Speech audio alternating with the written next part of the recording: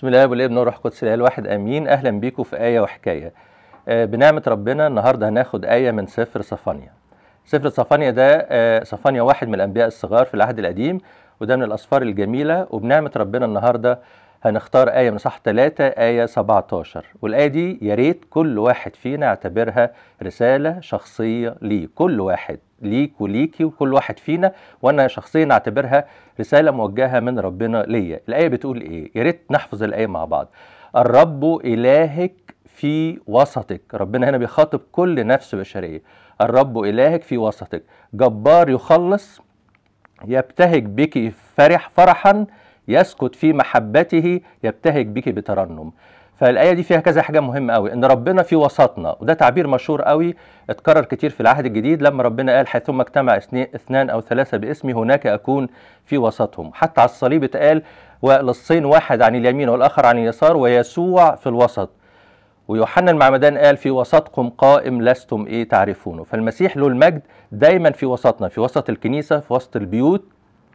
في وسط حياتنا اليومية في مشاكلنا هو موجود زي ما كان موجود مع التلميذ في السفينة وانتهر الريح. طب ربنا بيعمل إيه في وسطنا؟ بيعمل ثلاث حاجات. جبار يخلص يعني مفيش حاجة أقوى من قوة ربنا.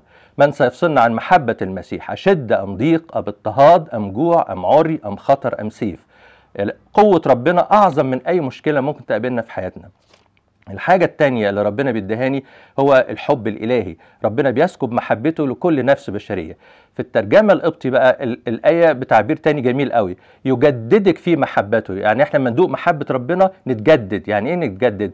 اما ندوق محبة ربنا الخوف يروح القلق يروح الهم يروح الحزن يروح.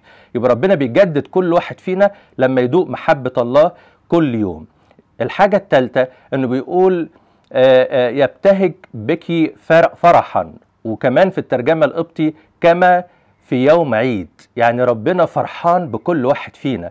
برغم ضعفاتنا أيوه برغم ضعفاتنا. برغم إن إحنا آه، أوقات ما بنبقاش امنا لا ربنا فرحان باولاده ومبسوط بينا.